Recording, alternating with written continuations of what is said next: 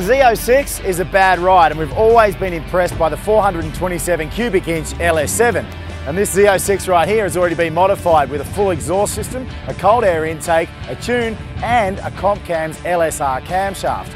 So we can't complain about the power that she's making, although always at Power TV, we like a little bit more of everything. More acceleration, better engine response, and of course, more torque. So that's why we've come to Lake Elsinore today to Cunningham Motorsports where we're going to test the brand new LSXR intake.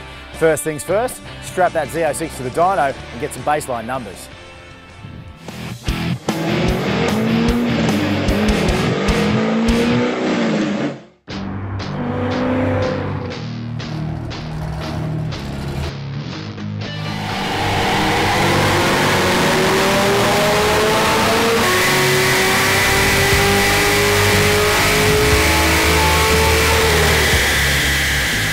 We could done baseline our C606 here. And as you can see, we have a pretty strong baseline of 540 rear wheel horsepower and 485 rear wheel torque. Pretty strong numbers. Now let's go ahead and install the fast LSXR intake. And while we're doing that, let's check out the details of this intake manifold. The LSXR 102mm intake shown here is designed for LS7 engines. However, a version for LS3 and L92 engines is also available. It is a composite moulded three-piece design that is far superior to ported stock intakes. Fast engineers optimise the intake's port design, length and volume while increasing the plenum size, all with the goal of increasing power and RPM capability without killing low-end torque.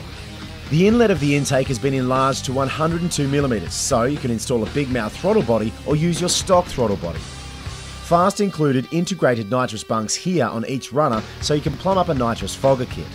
Finally, the runners are removable, so if you're building a serious race engine, you can port the plenum as well as the runners. Installation was simple and straightforward. You should plan several hours for the swap, but no special tools are required. Just a socket set and a fuel line disconnect tool. You don't even need to retune your computer, although for maximum horsepower, it's highly recommended. The guys at Cunningham were pros, and as you can see here, they have this upgrade down to a science. So overall, this baby is a bolt-on affair. The only thing you need to decide is what type of fuel rails and throttle body to use because unlike the factory manifold, the LSXR requires that you use either the GM LS7 fuel rails with billet aluminum spacers or these ones, the fast billet high flow fuel rails that we went with. If you're planning on upping the power down the track, I'd go with the fast. As far as the throttle body is concerned, you can stay with the stock throttle body or you can go with the 102mm. Totally up to you. Now it's time to check out the dyno.